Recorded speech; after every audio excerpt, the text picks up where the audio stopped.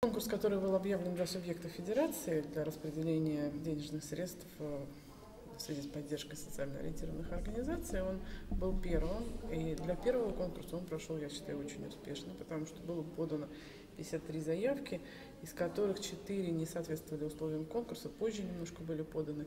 49 э, заявок, они все стали победителями. И это было решение, э, почти единогласное решение комиссии, чтобы поддержать все субъекты федерации, которые заявились, для того, чтобы не убить вот эту вот искру, которая у них зародилась э, в связи с объявлением конкурса, искру вообще взаимодействия с некоммерческими организациями, поддержки, э, возможно, изыскания возможностей в бюджете найти какие-то средства, потому что все э, программы, они строились на условии софинансирования, обязательного софинансирования со стороны регионального бюджета.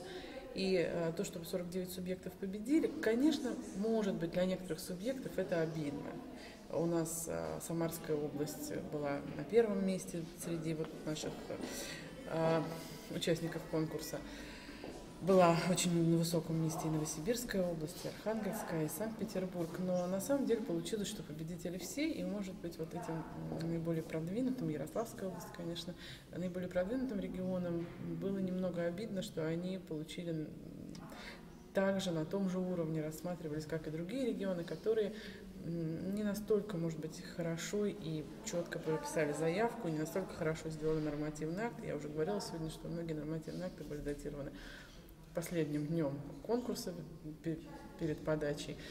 А, но на самом деле то, что субъекты в первом году победили все, я думаю, что это очень положительно, потому что на будущий год будут, наверное, больше еще заявок, а, будут, наверное, более жесткие критерии, и, наверное, на будущий год все-таки получат лучшие, а не, только, не просто все, кто заявился.